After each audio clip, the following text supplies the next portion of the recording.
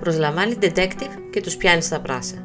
Ο Σταύρος κατακλείζεται από τα πρόσφατα γεγονότα και κατηγορεί τον Αστέρι για επίθεση.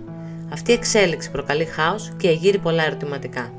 Ο Σταύρος έχει κατακλειστεί από το θυμό του και είναι αποφασισμένος να εκδικηθεί την Αργυρό. Προσλαμβάνει ένα detective για να πιάσει μαζί την Αργυρό και τον Αστέρι, και όταν τα καταφέρνει, απειλεί την Αργυρό ότι με αυτές τις φωτογραφίες θα της πάρει το παιδί. Η Αργυρό προσπαθεί με όλες τις δυνάμεις να κρατήσει το μωρό και είναι σε πολύ κακή ψυχολογική κατάσταση. Έχει βρει καταφύγιο στην Άνω Ποριά, όπου ζει με την οικογένειά της. Ο Αστέρης, μην μπορώντα να δει τη γυναίκα που αγαπά να υποφέρει, αποφασίζει να βρει το Σταύρο στο Ρέθυμνο, όπως θα δούμε στη συνέχεια. Ωστόσο, αυτή η συνάντηση δεν θα έχει καθόλου καλή κατάληξη, καθώς οι δύο άνδρες έρχονται σε σύγκρουση και πιάνονται στα χέρια. Ο ένας χτυπάει τον άλλον και όλα αλλάζουν.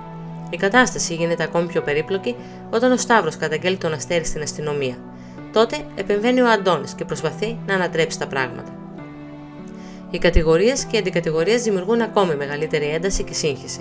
Στο τέλος, κάθε χαρακτήρας θα πρέπει να αντιμετωπίσει τους δικούς του προσωπικούς δαίμονες και να κάνει δύσκολες επιλογές που θα διαμορφώσουν τελικά το μέλλον. Αυτά για σήμερα. Τα λέμε στο επόμενό μας βίντεο.